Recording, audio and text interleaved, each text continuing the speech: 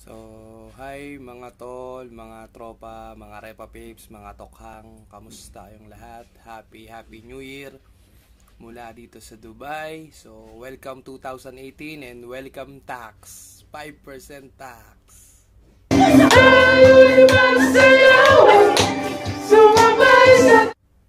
So, ngayon, ang vlog ko ngayon ay tungkol sa aking duty. Ang duty ko ngayon ay ihatid ko ang water bus papunta ng Alpha Heidi sa kanyang last destination. So, samahan nyo ako na lumabas sa open sea.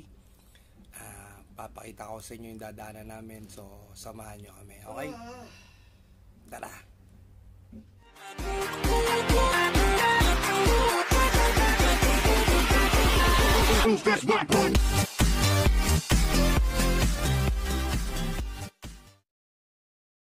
So ito guys yung water bus ng RTA. Ito ngayon ang last day niya dito ngayon sa Marina. So after 10 years, ito na yung end ng kanyang journey. So samahan nyo ako sa paghatid ng water bus 8 sa kanyang huling station, huling destination ang Alpha Heidi Station. Guys, ito naman yung Abra na papalit sa ating water bus. Ito yung bagong Abra ngayon ng RTA dito sa Marina.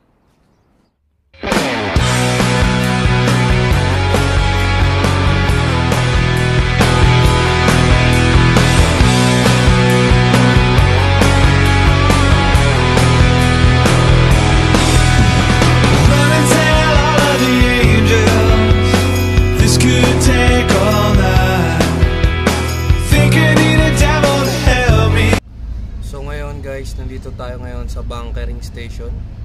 So maggagasolina muna tayo kasi sabi ni Cap abutin daw ng 3 hours ang biyahe natin. So ngayon, busy pa. Antayin lang tayo. Okay? Get things right.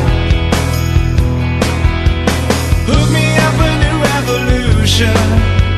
this one is ngayon guys, nakalabas na tayo ng Marina. Ngayon ay proceeding na tayo sa Alpha Heidi. Ngayon, kasama ko nga pala ngayon ang ating captain, walang iba, si Captain Shweb. Captain Shweb, say hi to the camera. Hi! From Pakistan, my friend, my good friend. And also we have one mechanic there, standby. Busy, busy.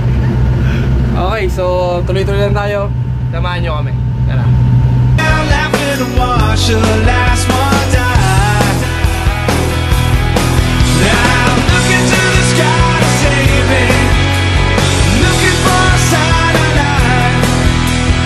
Looking for something to help me find out right.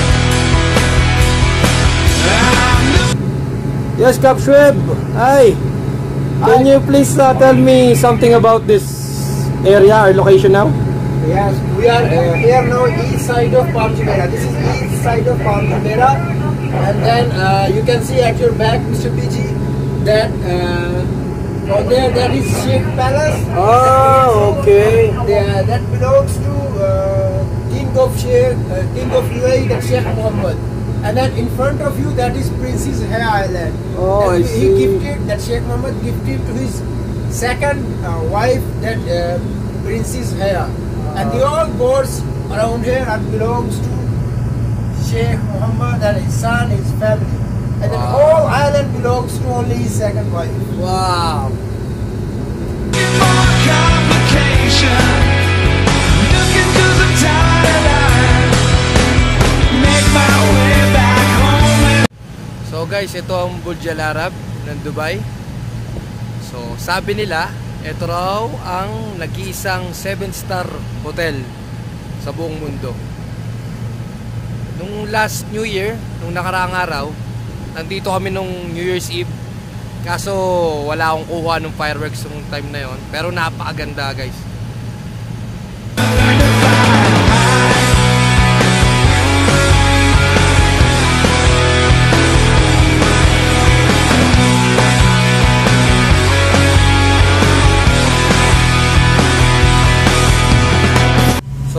Tumatakbo tayo ng 7 knots, almost 7 knots.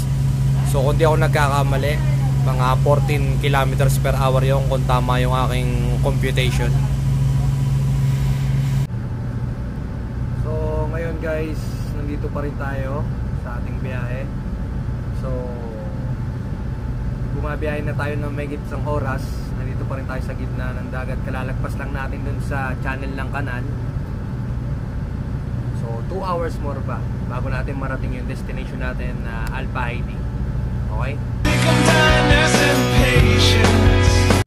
So ngayon guys, bumabiyahe pa rin tayo. Kasama ko ngayon si Chip. Hi Chip! Ay, from India, Kerala. Kaysa eh... You can wait one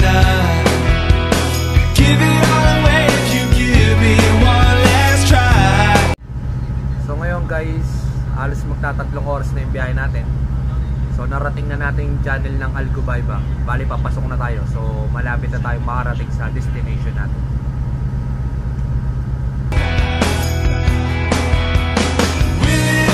So ngayon, ang gagawin natin bago tayo pumasok ng channel, nagpapaalam muna tayo sa Port Dubai, yung pinaka coast guard nila rito. So lahat ng pumapasok at lumalabas dito sa channel na to, nagpapaalam muna. natin. Happily ever try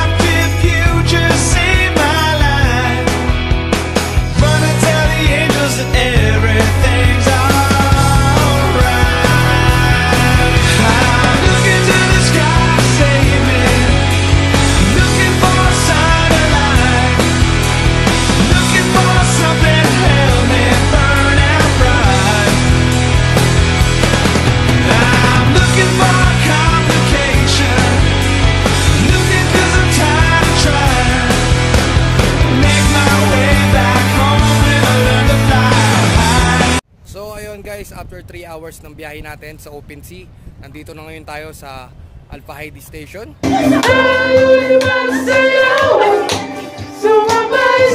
Eto na, na-secure na natin yung water bus 8.